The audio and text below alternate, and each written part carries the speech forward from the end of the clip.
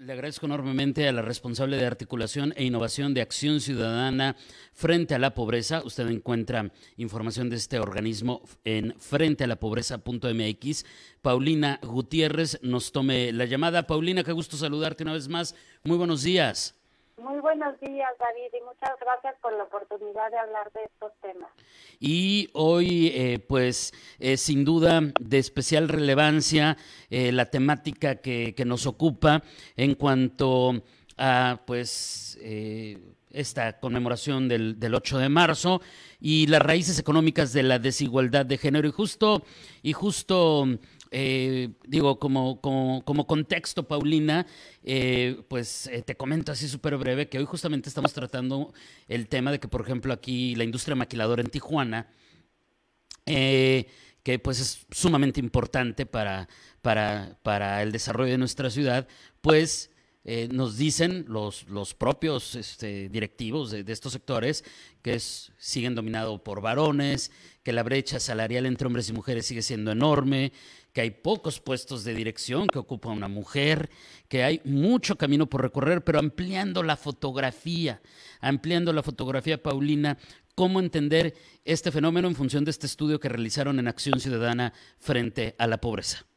Pues mira, David, es muy triste la situación. Recordemos que el 8 de marzo inició este, a finales del siglo XIX justo por la exigencia de las mujeres para obtener mejores condiciones laborales. Y después de tanto tiempo en México, pues esto sigue siendo una mera aspiración, ¿no?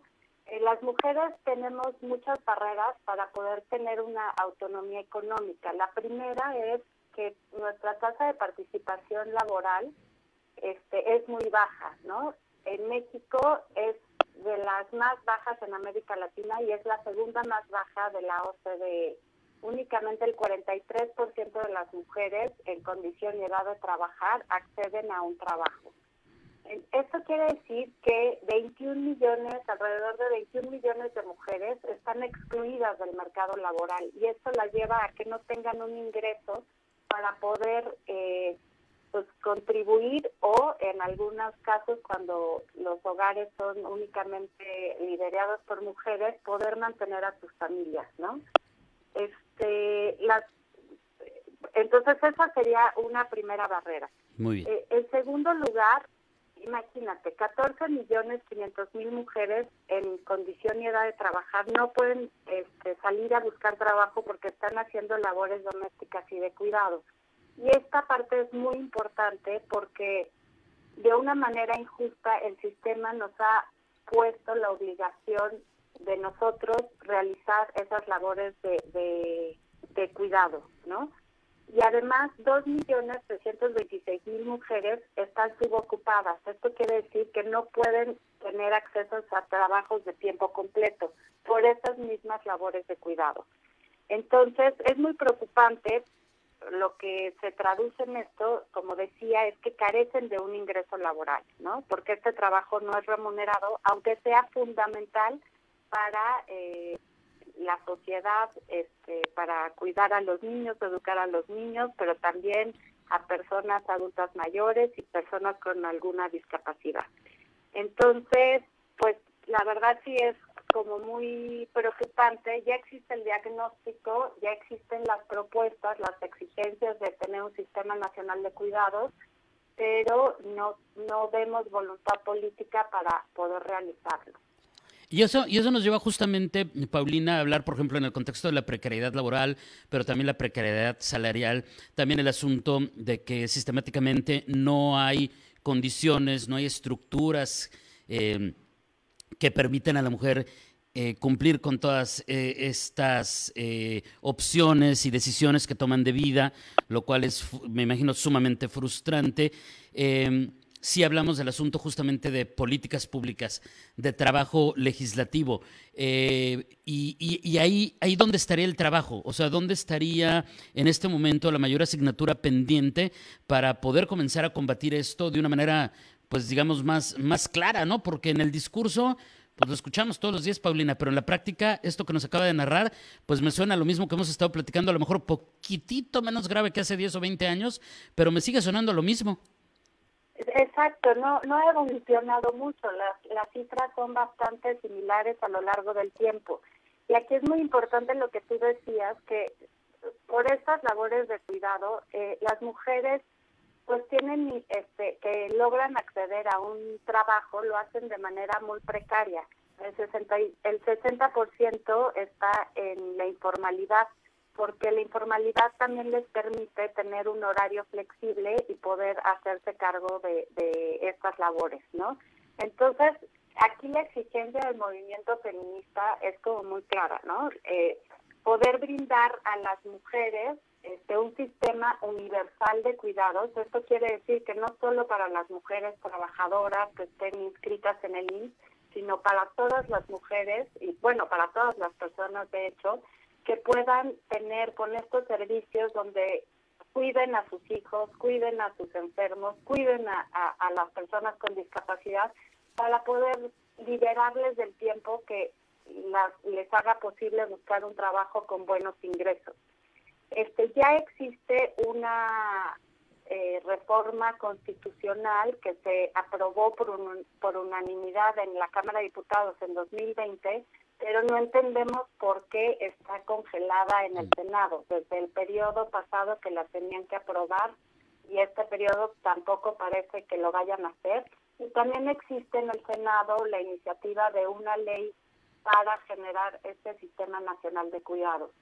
Eh, nosotros pensamos que a través de, esta medida sí podría beneficiar muchísimo no solo a las mujeres, sino a la sociedad en general, ¿no? Donde se distribuyan estas labores, donde haya sistemas, este, perdón, servicios de calidad, donde las mujeres se puedan sentir tranquilas, que puedan dejar a, pues, las personas que cuidan en buenas manos y ellas poder este pues dedicarse a buscar un ingreso justo, ¿no? Otra de las eh, sus preocupaciones fue la eliminación del programa de escuelas de tiempo completo, porque pues en escuelas que el horario es de 9 a 12.45, pues qué mujer va a poder este, acceder a un trabajo que le permita un ingreso justo.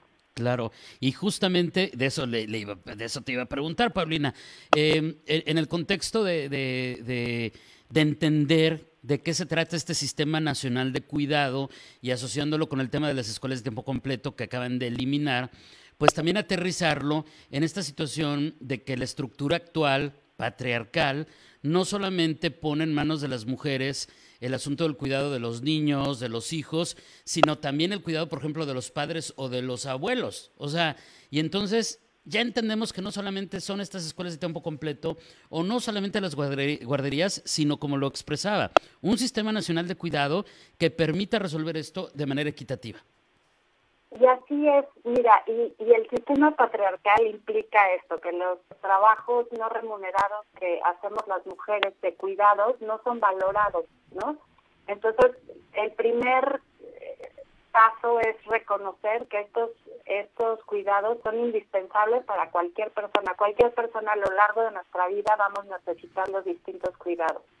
Entonces, ponerle un valor económico a eso a esos cuidados, ¿no?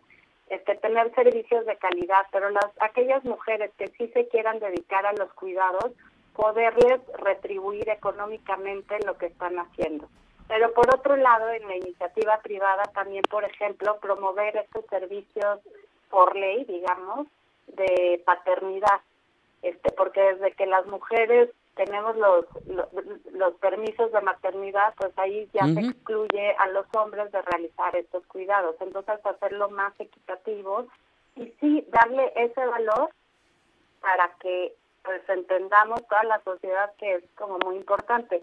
Y si se hace una industria de, de cuidados, digamos, o sea, donde a las mujeres que se dediquen a los cuidados y, y en estos servicios que se pueden emplear a muchas mujeres, este pues va a ayudar a la economía, va a ayudar a los ingresos de las familias, etcétera.